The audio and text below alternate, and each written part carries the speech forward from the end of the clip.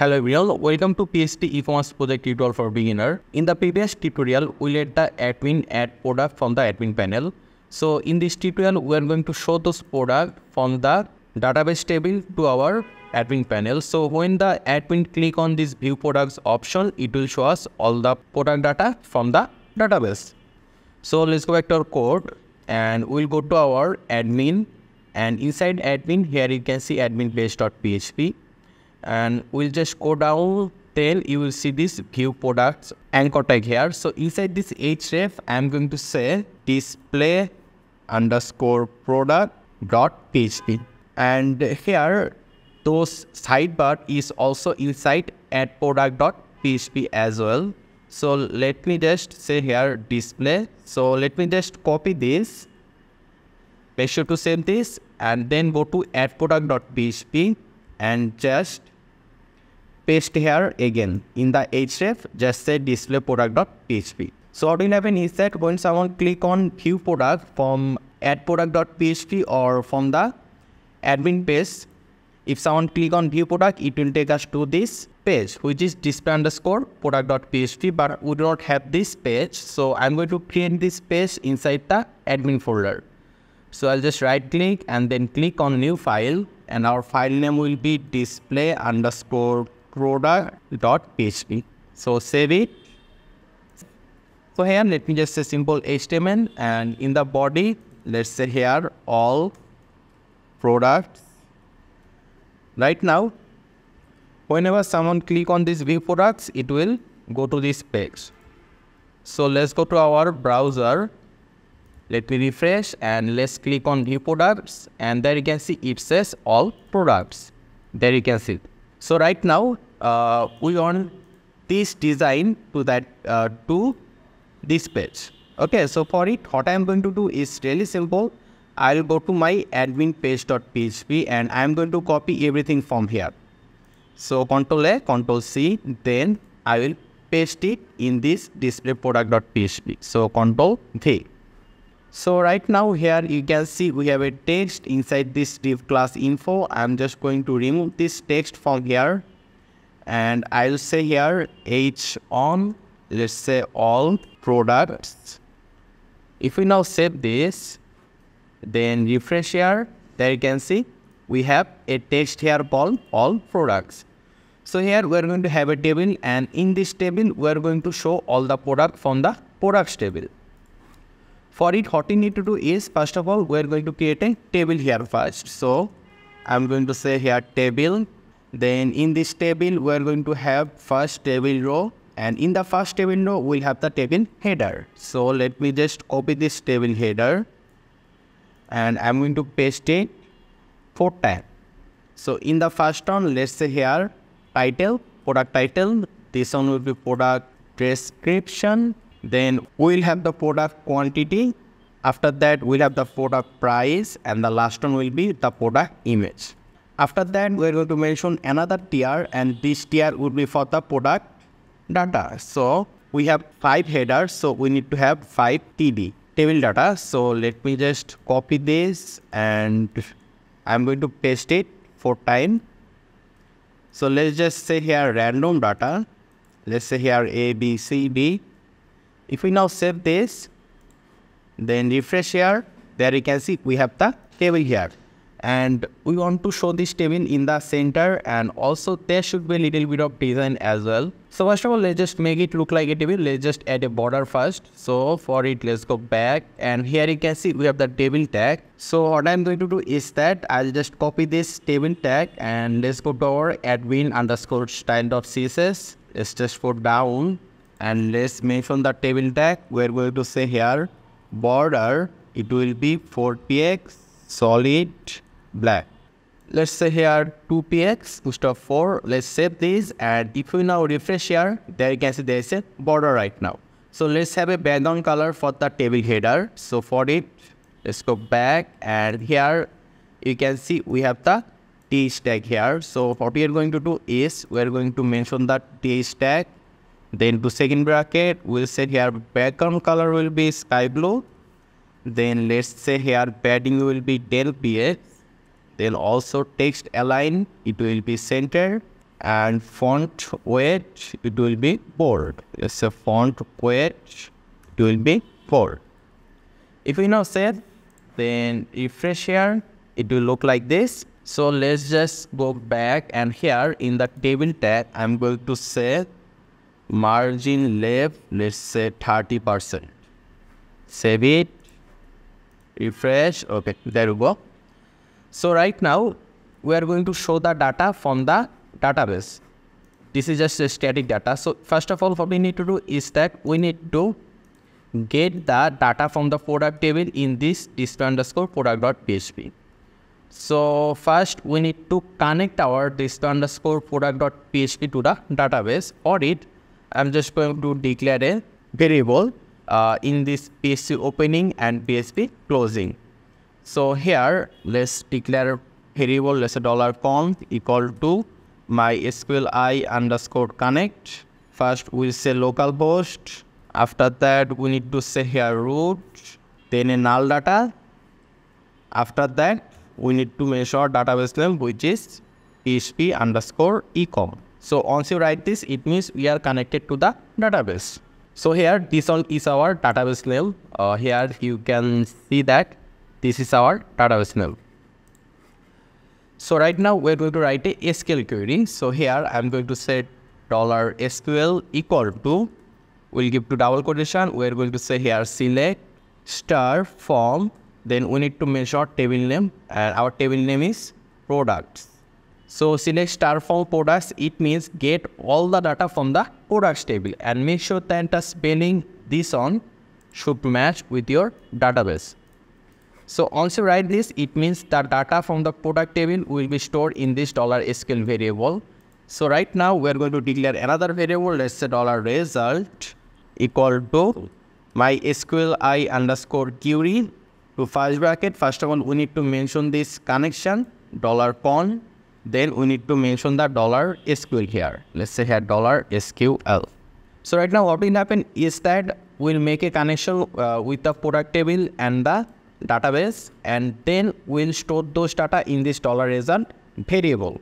So right now using the dollar result, we'll be able to show all the data from the product table to this table, inside this table. So first of all, in order to show the product, we need to use while loop.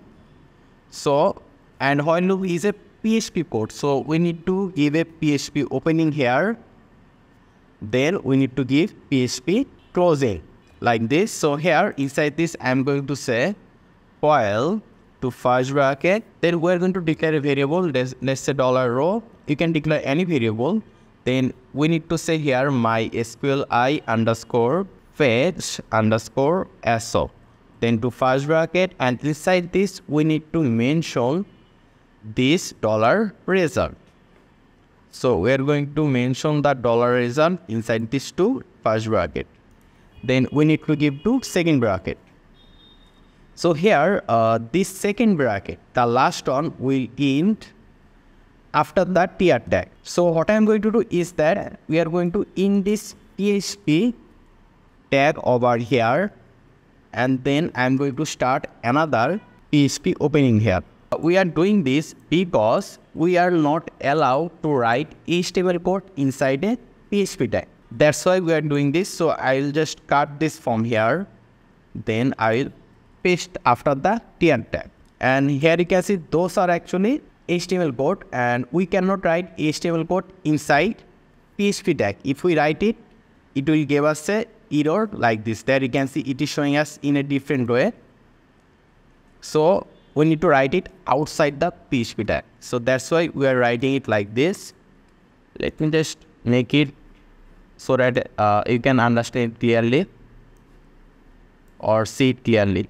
So here you get the PHP code started here and after the while loop and the second bracket we ended the PHP and here again the PHP started here and after this second bracket for the while loop the PHP tag ended here. So I hope you are clear, you are not confused. So right now here instead of those dummy data, we are going to get the data from the table. So here for it, we need to give the PHP opening and PHP closing here. So in the first TD, again, I'll give another PHP opening, then the PHP closing. We are doing this because we are going to write some PHP code here. So inside this PHP opening and closing, we'll say here echo, then we'll say dollar row, which is basically this one. So using the dollar row, we'll be able to get the data one by one from the database. So we said dollar row, then we need to give to third bracket like this and to single quotation. So first of all, we want to get the title. And in the database, uh, here, you can see we write title here like this, description like this, price, quantity and image like this. So we need to write it exactly we write in the database. So I'm going to say here title so after title, we have the description, quantity, price and image. So let me just copy this and I'm going to paste it for this on, this on and this on. So this last TD will be for the image and image is a little bit of different. So after title, we need to say here description. Let me just show you. Here we write description like this and you need to write it exactly you write in the table. Here you can see description, price, quantity. So I'm going to say here description, then this one will be quantity, and then this one will be price. So right now, let me just show you, we'll show the image later. If I just save this, then refresh here, there you can see you are able to get the product title, description, quantity and price. So right now we're going to show the image. So in order to show the image, inside this td tag we need to mention the image tag and in the source we need to mention the folder where we uploaded our image and we uploaded our image in this product underscore image folder there you can see and this product underscore image folder is outside the admin folder so our display product is inside the admin folder and this folder is outside the admin folder. So we need to give two dot, then a slash, then we need to mention our folder name which is product underscore image. Then we need to give a slash here. And right now we're going to write the PHP code. So I can just copy this from here and paste it here. So make sure to give a slash here. So here you can see the double quotation started here and it ended here. So here instead of title, we need to say here image because in the database table here you can see image. That's why we are writing here image. So let's just mention the image height and width. So let's say here height it will be 80 px and width it will be 80. Okay, let's just say here 80 and 80. And I think I made a mistake somewhere. okay here you can see i give a arrow here. Uh, this on be here. Okay now that this looks perfect. Just make sure that you do not make any mistake. Okay let me just write it like this so that you can see it clearly. So if we save it then refresh now. There you can see you are able to see the images here and let's just add some padding for the td tag as well. So uh, let's go to our admin style.css and here i'm going to say td let's say here padding 10 px and margin 10 px let's also set here text align. It will be center and let's do one more thing that is for the table. Let's say here width. It will be 70 percent save refresh okay there you go. So instead of 30 margin left say here 10 percent. And for the image uh, let's say here 100 height and 100 width. Refresh and there you go. So it's too close. We can add a little bit of margin here for the table tag so here i can say margin top let's say 30 pixel. Save it and there you go. So we are able to show the data from the product table to our admin page. And if we go to our add product add another product let's say a test test price 100 or 1000 quantity 10 let's choose a random image from here. Let's choose this one click on open and click on add product a product is added if we go to our view products there you can see there is one more product here. So I hope this was useful for you. In the next tutorial, we are going to show how to delete data from the database. So make sure to subscribe and I hope to see you in the future tutorials.